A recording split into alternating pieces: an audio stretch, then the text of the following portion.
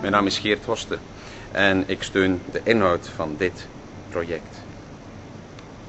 Koop de CD-single. Voilà.